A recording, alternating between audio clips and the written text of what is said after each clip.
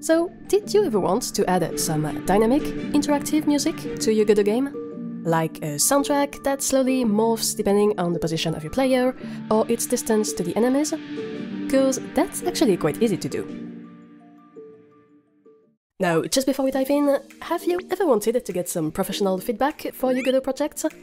If you join my Patreon as a Square member, you'll get to ask me for personalized reviews once every two months. That's a full analysis of your project, with a detailed report and suggestions for improvement, all this for only 40 bucks.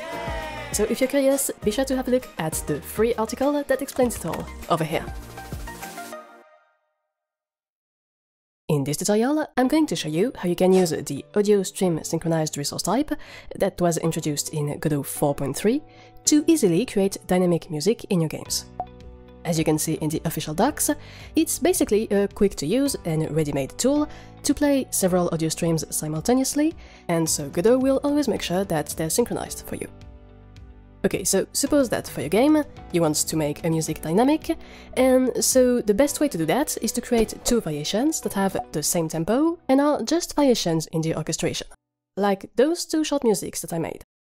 Here I've got an epic version with some brass, high strings and loud drums, and a softer, more melancholic version with a piano and a music box but you see that they play the same theme and they have the same tempo, meaning that they can actually play together without it sounding weird.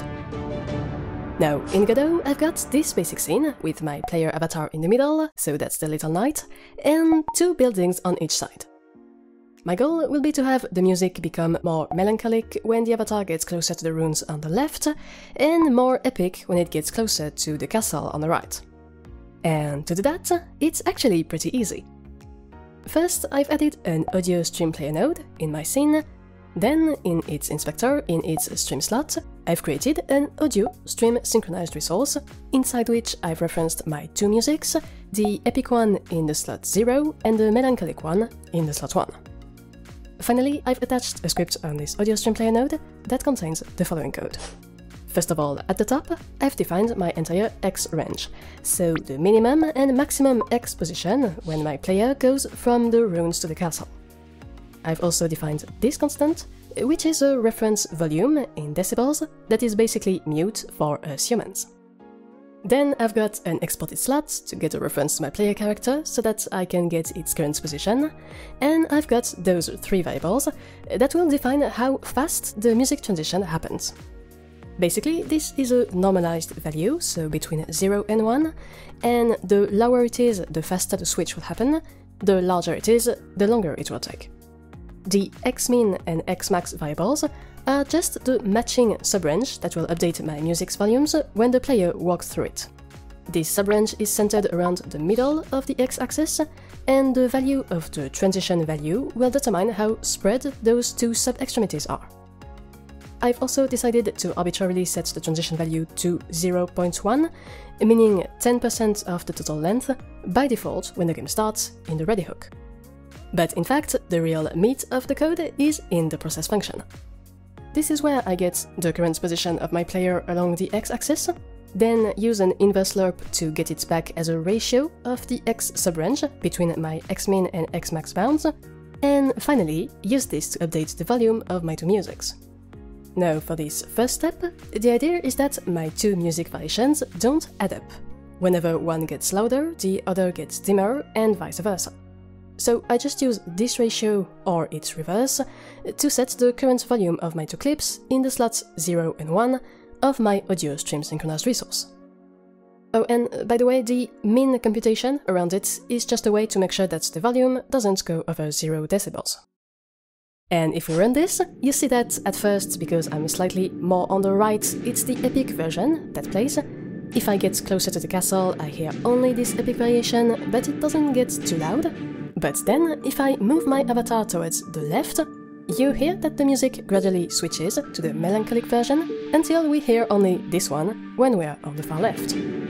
I've also set up a basic UI so that you can see where I'm in my music switch at the top, and so I can play around with the transition value by increasing or decreasing the spread slider at the bottom. So you notice that if we spread the transition more, then the switch takes longer to occur, it is way more subtle, and on the other hand, if we make the transition as small as possible, then the music changes almost in an instant. Now, of course, both of those extremes can be a bit jarring, as is. If the transition is too long and there is no other music in the background, then there will be a weird moment in the middle uh, where there is just no music at all anymore, and this is a bit strange. Similarly, if the transition is immediate, we kinda lose the whole benefit of the setup.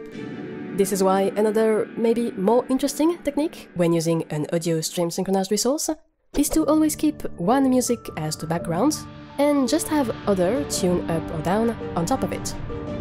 For example, here let's say that we want the melancholic version to be the one that always plays, and the epic version just gets added on top, more or less depending on your position.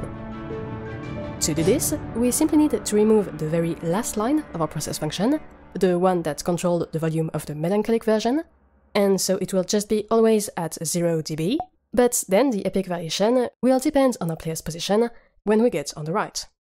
And, well, there we go. If you try this now, you see that we've indeed implemented a basic dynamic music system that is controlled by the position of our player. The closer we are to the runes, the more the melancholic version plays on its own, and the closer we are to the castle, the more the epic version comes in as well, to play on top of the first one. So yeah, that's an easy way to make some interactive music in Godot. I really hope you liked this quick tip, don't hesitate to react in the comments and subscribe to the channel to get more videos. And of course, a huge thanks to my Patreon members for the support, and to you for watching. And as always, take care.